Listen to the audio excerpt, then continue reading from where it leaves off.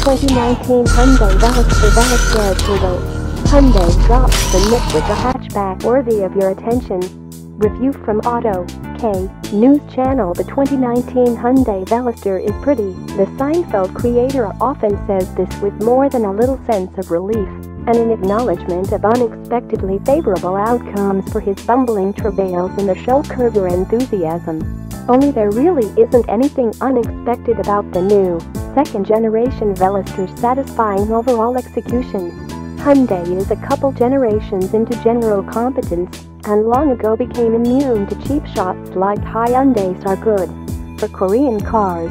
More recently, the automaker has grown ambitious about making its mainstreamed models more appealing to drive. Recently, sizzle has trickled into models as unpretentious as the price leader accent sedan and the Kona crossover.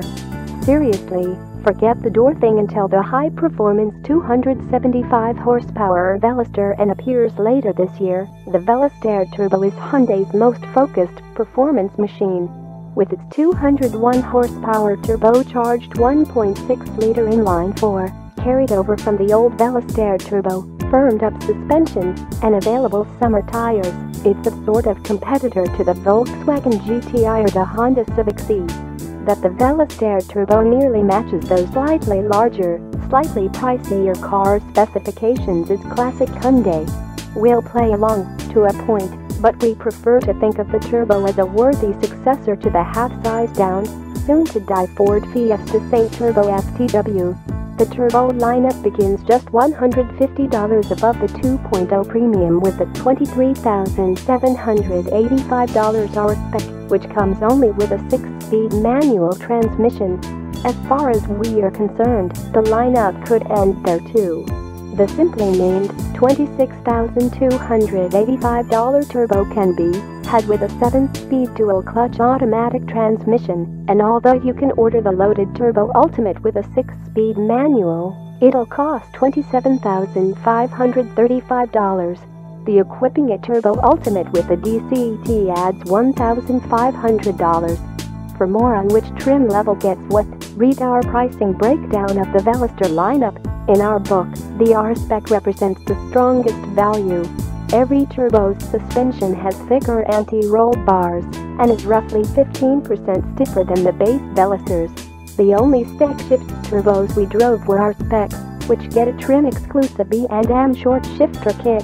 The setup Honda-like shift quality is shockingly good, and the clutch pedal is springy and progressive with a clear take-up point in the middle of its stroke.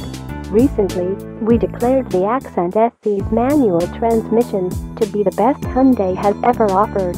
Transfer the title, with a hat tip to B&M, to the Veloster R-Spec now. The dual-clutch transmission is less beguiling. Its responses to manual gear selections are disappointingly slow, whether you use the steering wheel paddles or the shift lever, and several times we caught the computer snoozing, leaving us without a complete throttle blip to smooth a downshift. In automatic mode, it upshifts short of redline most of the time to ride the turbo engine's fat wave of torque in the low and middle ranges. Although not terribly sporty, the protocol feels effective and helps to avoid the shrill whooshing noises and soften thrusts that occur near the engine's redline.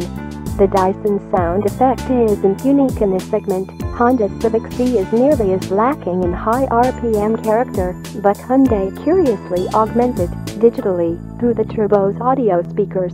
Every Veloster has normal, sport, and, in automatic transmission models, adaptive smart driving modes. In the turbo, these represent different volume settings in addition to changing the steering upward and throttle response.